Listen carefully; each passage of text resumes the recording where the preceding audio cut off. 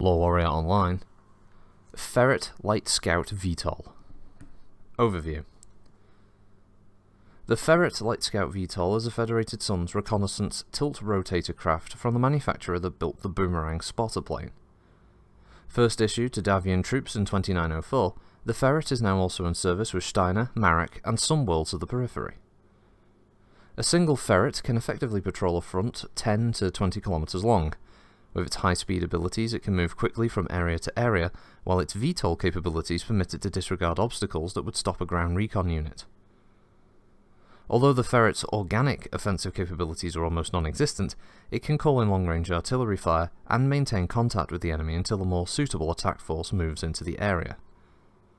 To further augment its reconnaissance role, the Ferret can drop remote sensors and a monitoring set onto one zone, then move on to the other and patrol that, while still monitoring the first potential problem area. Though it serves so well on screening operations, the Ferret's speed and troop carrying ability make it effective in counterinsurgency operations, standard reconnaissance missions, rear area insertions and extractions, battlefield pilot recovery, infantry squad transport, and as a spotter for artillery or other combat units.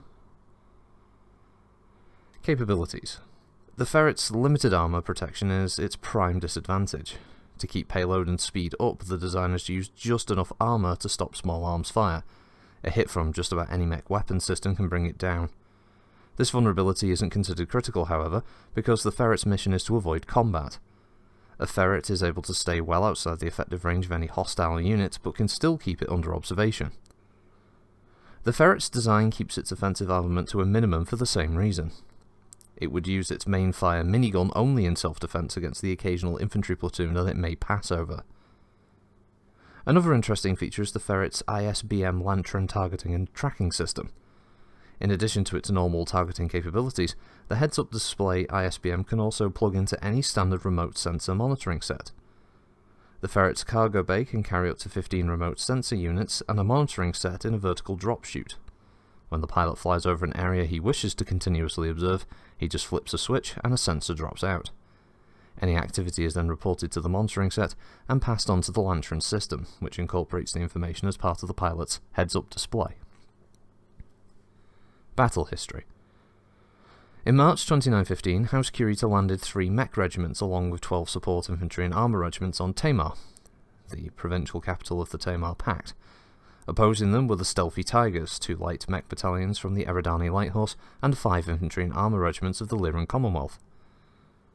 During the opening stages of the battle, the 54th Combined Arms Combat Team advanced against a drop zone held by light and medium mechs of the 4th Proserpina Hussars. As the 54th approached the landing zone, their commanding officer, Colonel Richard Gunston, ordered a company of infantry with their attached ferrets to make an air-mobile assault into the centre of the Kurita landing zone. Meanwhile, the rest of the regiment stuck the perimeter. The slaughter was tremendous. As soon as the ferrets came within range, the Kuritans blasted them out of the sky. The VTOL's armour was useless against the firepower of the mechs. The sight of six ferrets being turned into fiery pyres was too much for the rest of the ground assault elements. They broke and ran, pursued closely by a company of Kuritan mechs. Five months later, a much battered and bruised 54th Combat, Combined Arms combat team once again faced a force from the 4th Proserpina Hussars and Tamar. In a flanking manoeuvre that was intended to encircle the capital, the 4th was steadily pushing the 54th back. The 54th's new commander, Hauptmann Commandant Jennifer Miller, knew that she would have to make a stand in the Remini Hills, just 50 kilometers away, or else the Kuritan forces would be able to link up and cut off the city garrison. She also knew that her regiment couldn't fight off the whole force of the Hussars, no matter where the fight took place. She therefore ordered her remaining ferrets and a company of infantry to raid the Hussars' rear areas. The ferrets weren't to engage directly in combat, their mission being to locate convoys, supply dumps, and maintenance points, and then try to ferry infantry in to attack these targets.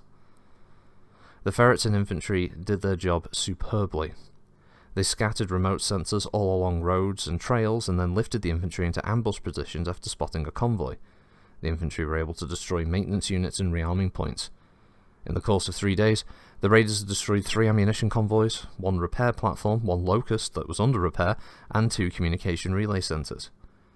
Believing that a battalion of commandos were operating in their rear area, the 4th slowed their advance and detached a battalion of light mechs for rear area security. So it was that when the Hussars did assault the 54th position in the Remini Hills, they were under strength and facing an enemy who had the time to carefully prepare its defence. The 54th fought the Hussars to a standstill, and two months later, the Kuritan forces were forced off-world. Variants Variants of the ferret abound. Most eliminate the craft's troop carrying capacity in favour of increased armour, thus making the ferret a more robust vehicle. Other variants do the opposite, with all the armour and weaponry removed to make the Ferret a light cargo transport. This version is capable of lifting 2.75 tonnes without reducing performance, and 7.75 tonnes with a 50% reduction in airspeed. Notable vehicles and crew Hatashi Williams Hatashi Williams is a pilot of the Ferret, the Dragonfly. While assigned to an infantry regiment guarding the New Avalon Institute of Science, he got into a rather loud argument with another student regarding the Ferret's manoeuvrability. Seeking to give the student a practical demonstration, Hatashi finished off the last of his drink, grabbed the offending student by the scruff of the neck, and proceeded down to the airfield. Strapping himself and his unwilling passenger into the tiny craft, he proceeded to demonstrate the full capabilities of a rotor wing aircraft. While flying over, between, and under some of the Institute buildings, Hatashi calmly delivered a lecture on combat flying to the student. Needless to say, the student was greatly impressed, but the Institute authorities were not. One court-martial later, Hatashi and the Dragonfly were reassigned to a combat unit on Quentin. Though he was gone, Williams wasn't forgotten by the students and the faculty of the Institute.